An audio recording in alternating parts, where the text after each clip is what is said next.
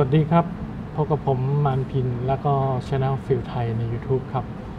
วันนี้ก็มาเรียนภาษาจีนที่ไม่ได้สอบจองวนนะครับ เป็นภาษาจีน backpack ก็ไว้สำหรับเดินทางในประเทศจีนนะครับ ผมก็ถ่ายทอดประสบการณ์ส่วนตัวนะครับ แล้วก็จะใช้รูปประโยคที่เราจะเจอบ่อยเวลาเราไปเที่ยวเมืองจีนด้วยตัวเองนะครับ ไม่ได้ไปกับทัวร์ไม่ได้ไปกับอะไรทั้งสิ้นนะครับ ก็ติดตามได้นะครับ อันนี้เป็นตอนที่2นะครับ ภาษาจีน backpack search ใน YouTube นะครับ หรือว่าไปที่ Channel ฟิลไทยใน YouTube ครับ F W D L T H A I ครับ วันนี้คำว่า 有吗 นะครับ 有吗 นะฮะ 有吗 นี่ก็คือมีไหมนะครับ มีไหมคำนี้เป็นคำที่มีประโยชน์มากนะครับ เพราะว่าเดี๋ยวนี้เนี่ยเเวลาเราถามหาของที่เราต้องการนะครับ เราถามเขาว่าโยมา มานี่เหมือนกับไม้ในภาษาไทยนะครับนะฮะคือโยแปลว่ามีนะฮะเราอาจจะเคยได้ยินคำว่าเมโยคือไม่มีนะครับนะฮะโยเมโยมีไม่มี อาจจะเคยได้ยินคำนั้นนะเมโยไม่มีนะพอเมแปลว่าไม่นะฮะพอใช้มีไหมโยมานะครับโยมาบางคนถามว่าเอาแล้ว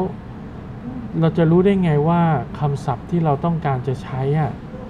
คืออย่างเช่นเราจะถามเขาว่าไฟแช็กมีไหมสบู่มีไหมปากกามีไหมทำยังไงดีคำตอบง่ายนิดเดียวครับ เดี๋ยวนี้เป็นยุคอินเทอร์เน็ตนะครับทุกแห่งเข้าถึงอินเทอร์เน็ตได้หมด ถ้าไปเมืองจีนอย่างแรกคุณต้องซื้อซิมเอาไว้นะครับ แล้วก็ search หานะครับนะฮะ search หาหรือ เรามีภาพของที่เราจำเป็นต้องการเนี่ยที่ใช้บ่อยในเวลาเดินทางเนี่ยติดเอาไว้อาจจะ save ภาพเก็บไว้ เพราะว่าไปเมืองจีนเนี่ยเราจะเข้า Google ไม่ได้นะครับ เราเซฟภาพของเครื่องใช้ที่จำเป็นนะครับ เก็บไว้ในเครื่อง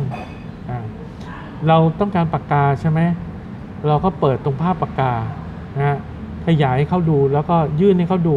แล้วก็ถามว่าโยมาไปที่ร้าน เราต้องการซื้อแปรงสีฟันใช่ไหมเราก็ยื่นไอ้รูปแปรงสีฟันให้เขาแล้วก็ถามว่าโยมาอ่าหรือจะใช้คำว่าโยไหมโยก็ได้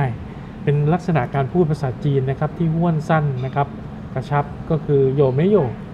มีไม่มีนะครับในความหมายเดียวแบบอย่างนั้นเลยนะครับ อันนี้ไม่ได้ถือว่าไม่สุภาพหรืออะไรอย่างนั้นนะครับ เป็นเรื่องปกตินะครับคนจีนก็จะพูดสั้นๆนะครับห้วนๆโดยเฉพาะจีนแผ่นดินใหญ่ ซึ่งจะต่างจากจีนไต้หวันหน่อยนะฮะโยมานะครับโยมีมาไหมนะครับจำคำว่ามาไว้นะครับ เดี๋ยวจะได้เจออีกหลายอย่าง เราจะได้ใช้ประโยคนะครับ ผม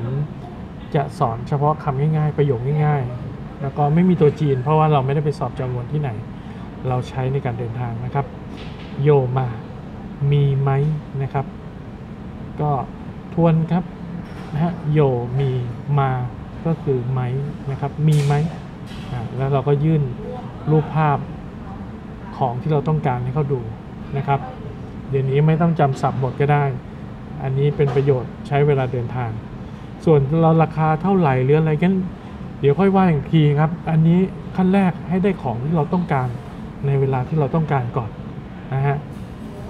ก็ใครสนใจก็ติดตามได้นะครับ นอกจากภาษาจีนก็มีภาษาเวียดนามแล้วก็ภาษาอังกฤษ นะครับแล้วก็ search หาใน YouTube นี่ครับภาษาจีน backpack อันนี้เป็นตอนที่ 2 ครับผมนะครับ YouTube ฟิลไทย F W D L T H A I แล้วพบกันใหม่นะครับ สวัสดีครับ